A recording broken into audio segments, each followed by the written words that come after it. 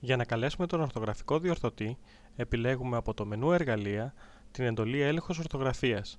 Από το πλαίσιο «Προτάσεις» διαλέγουμε την επιθυμητή λέξη και πατάμε το κουμπί «Αλλαγή».